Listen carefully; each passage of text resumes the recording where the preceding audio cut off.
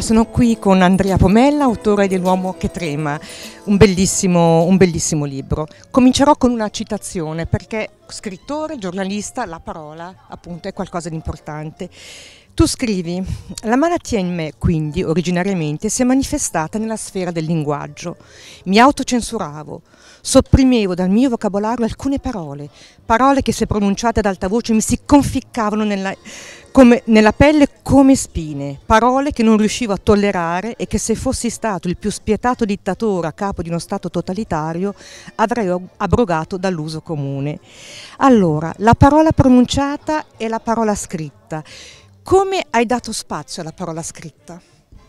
Ma io ho trovato sempre molto rivelatore questo fatto che la mia malattia si è, si è mostrata per la prima volta appunto attraverso il linguaggio, l'uso della parola. Io avevo abolito una serie di parole mia, dal mio vocabolario, la prima delle quali era il mio cognome, io non riuscivo a pronunciare il mio cognome, non riuscivo a pronunciare la parola papà perché comunque ho avuto un'esperienza di abbandono alle spalle che racconto nel libro e potermi riappropriare delle parole, ma non solo delle parole specifiche, ma usare la parola, in questo caso la parola scritta, per poter poi raccontare quello che è irraccontabile per definizione, che deve essere poi sempre diciamo, la stella polare che dovrebbe inseguire la, la letteratura, cioè raccontare l'indicibile, per me è motivo di, di, orgoglio e devo dire anche di, ehm, di rivincita per certi versi. Vorrei anche riflettere sulla questione proprio del silenzio. Prima durante la trasmissione si è parlato eh, proprio anche di questa cacofonia dei social media e tu a un certo punto hai parlato del silenzio come realtà contemplativa. Quanto è importante in questa società lo spazio del silenzio e della realtà contemplativa?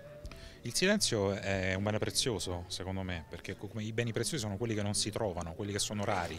Oggi trovare il silenzio è qualcosa di difficile e, di, e, e, e non c'è possibilità. A me è capitato tempo fa per esempio di, per, per un giorno di vacanza, insomma, di finire in un agriturismo immerso nella natura, la, la cosa che mi ha colpito è stato proprio il silenzio e, mi sono reso conto di quanto appunto questo sottofondo continuo, rumoroso, che non, solo, che non riguarda solo diciamo, i decibel della città, ma riguarda proprio anche il, il, rumore per esempio che fanno appunto le nuove tecnologie, il rumore del, del chiacchiericcio anche scritto, sia così intrusivo nelle nostre vite.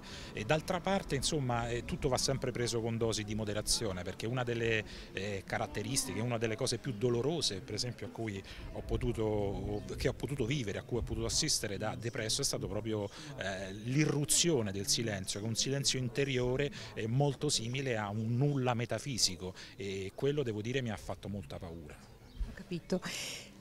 Cito eh, la dichiarazione che hai, che hai, rilasciato a un collega ed è bellissima secondo me. Se esiste, dici, se esiste un concetto di patria in cui mi riconosco, inteso come catalogo di fatti e relazioni che costituiscono un'identità condivisa, questo è legato alla parola, alla lingua in cui mi esprimo e solo a quella. Vuoi dirci andare oltre questa cosa che è bellissima?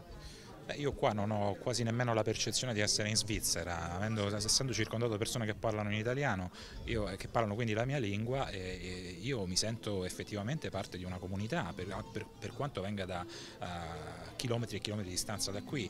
Eh, la parola è un luogo, è un luogo concreto, poi al di là delle lingue, per le quali insomma, secondo me insomma, eh, la, la, la parola è veramente il posto in cui io mi riconosco, quando leggo un libro, quando leggo qualsiasi cosa, insomma io in quel, sono in quel posto, eh, mi sento a casa con la parola, anche se poi oggi come oggi insomma eh, io faccio sempre una riflessione rispetto all'uso del, della parola scritta in particolare, io credo non esista una generazione precedente a questa che abbia usato così tanto la parola scritta, cioè la parola scritta è tornata prepotentemente al centro della vita delle persone, noi scriviamo continuamente sui telefoni, su, su, sui computer, eppure il peso, di, il peso, delle parole sembra eh, essere così eh, poco specifico, se posso usare questo termine. Esatto, si scrive di più, ma come?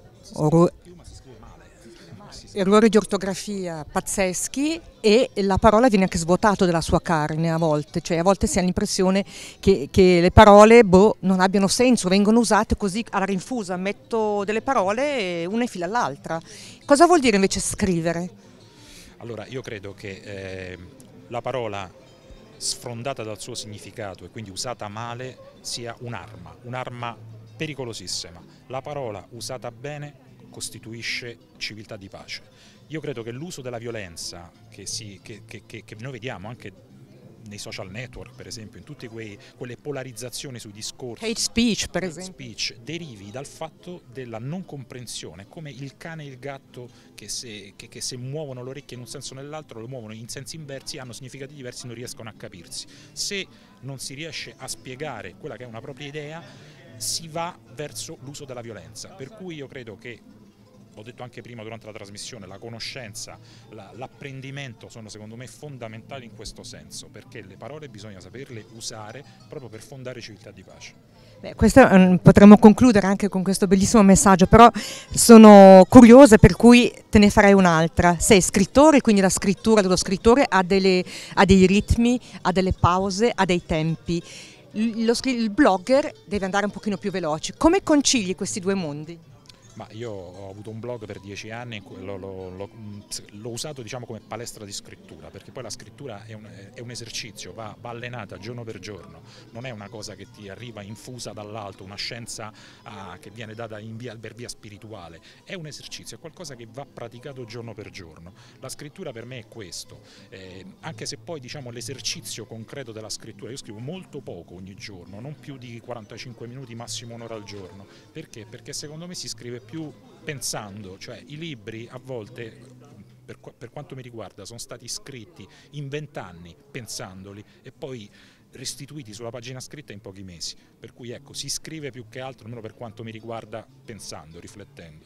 L'ultimissima domanda, il mondo nuovo è il tema di quest'anno di Chiasso Letterario, qual è il tuo mondo nuovo Andrea? Mondo nuovo è la, la, possibilità di rivedere di nuovo il mondo con occhi, non dico di una persona guarita perché da, dalla depressione non si guarisce mai, ma di rivedere il mondo con quell'opacità, quella sana opacità che è tipica delle persone che stanno bene. E vedere invece quella, quella, quella realtà sfrondata di ogni, di ogni, tipo di immaginazione, così come la vedevo da depresso, era, era un mondo, un non mondo. Ecco, per me il mondo nuovo è il mondo.